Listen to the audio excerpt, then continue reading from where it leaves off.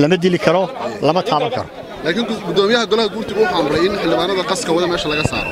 Arrintaas soo aragtaa qasmi wadana fikirkooday dhiibayeen Een, adigu cod ma ku leedahay golaha markay labada gole isu yimaadaan? Way isu yimaadaan laakiin golaha afduubantaan cod kama gelayo. Adigu markii xildhibaanada la saaray waad baxday. Ah. maxaad golaha u sii joogi wada u sheegi weydeen in xildhibaanadii la afduuba golu afduuban yahay.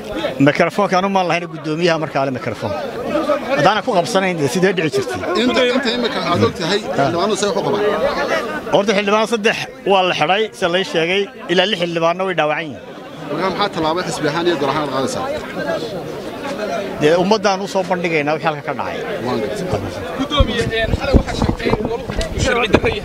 Saaka xubnihii fadhiyey baad ka mid ahay. Iminkana sharci darro inuu yahay baad sheegaysaa bulshadii somalilan inay soo dooratay hoggaanid ka dhigatay. Maxaa iyaga u nafa waayo heshiiska laguma sheegin inta lagu galay halka lagu galay cidda dhexdhexaadisay.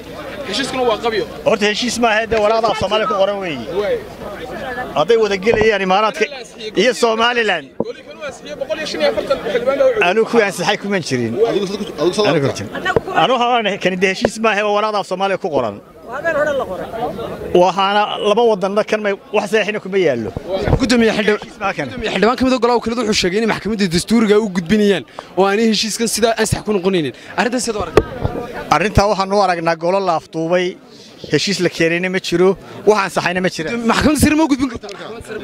Maxkamadda sare iyo meeshii kale loo gudbinayaba xaq buu leeyahay golahu iyo xildhibaanadu